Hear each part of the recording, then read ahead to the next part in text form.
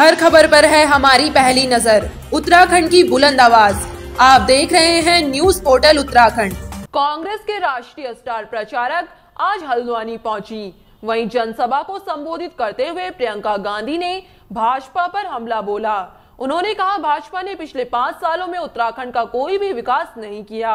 उन्होंने कहा, मैंने यहाँ देखा कि उत्तराखंड की महिलाएँ शेरों से भी लड़ सकती हैं। दुनिया में उत्तराखंड की महिला सबसे बहादुर हैं। जो महिलाएँ शेर से लड़ सकती हैं, वह सप्ताह का एक मिनट में परिवर्तन कर सकती हैं। वहीं उन्होंने कहा कि अगर कांग्रेस की सरकार उत्तराखंड में बनती है तो 500 से ऊपर सिलेंडर के दाम नहीं होंगे और रोज़गार को लेकर किसी भी युवक, युवती को परेशानी नहीं होगी। हमारी पहली प्राथमिकता उत्तराखंड के अंदर उत्तराखंड का विकास है, क्योंकि भाजपा के अंदर केवल दिखावा है। वहीं हरीश रावत ने कहा कि आज जिस प्रकार से कार्यकर्ताओं में जोश दिख रहा है और प्रियंका गांधी का समर्थन करने के लिए सुबह से ही लोग यहाँ मैदान पर बैठे हैं। इससे साफ़ होता है कि 2022 में कांग्रेस की सरकार बनना तय है। रोज़गार पैदा करना चाहिए था, वो नहीं किया गया। यहाँ महँगाई चरम पे बेरोजगारी आप सोच सकते हैं कि उत्तराखंड में सबसे ज़्यादा बेरोजगारी पूरे देश कैसे हो सकता है यहाँ इतने मौके हैं, इतनी प्राकृतिक सुंदरता है, इतना पर्यटन के व्यापार के मौके हैं, तमाम छोटे छोटे व्यापार के मौके हैं, और पिछले पाँच सालों से कुछ नहीं किया गया। अब नवयुवक सारे बेरोजगार हैं, महँगाई इतनी बढ़ गई है, एक गैस सिलेंडर पहाड़ में पहुँचते पहुँचते दो हज़ार का हो रहा है।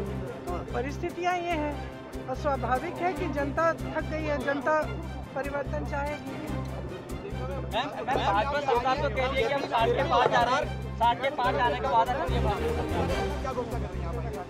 घोषणाएँ हमने जो की हैं, जो हमारे घोषणा पत्र में लिखी हैं, उसमें तमाम घोषणाएँ हैं। उसमें सबसे पहली तो ये है कि जो हज़ारों खाली पद पड़े हैं सरकारी, सबसे पहले तो वो भरे जाएँगे। फिर हमने कहा है कि जो गैस का सिलेंडर है, जो आज आपको हज़ार, दो हज़ार में मिल रहा है 500 से ज़्यादा हम उसका दाम बढ़ने नहीं देंगे। इस तरह की बहुत सारी घोषणाएँ हैं जो सिर्फ़ देखिए, सिर्फ़ घोषणा के तौर पे नहीं है।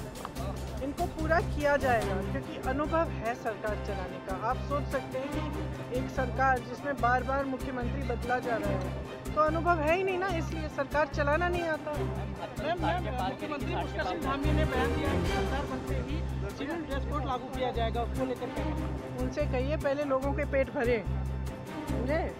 उनसे कहिए, रोज़गार दिलवाइए, महँगाई हटाइए, लोगों को मज़बूत बनाइए, तब ये सब बातें हों। निश्चित है, कांग्रेस सरकार बना रही है, जनता का आशीर्वाद हमको मिल रहा है।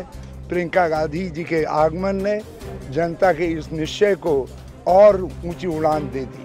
हमारा एजेंडा बिल्कुल साफ़ है कि हम राज्य की, राज्य को एक उन्नतशील राज्य के रूप में, एक लोक कल्याणकारी राज्य के रूप में और रोज़गार मूलक राज्य के रूप में आगे बढ़ाएँगे।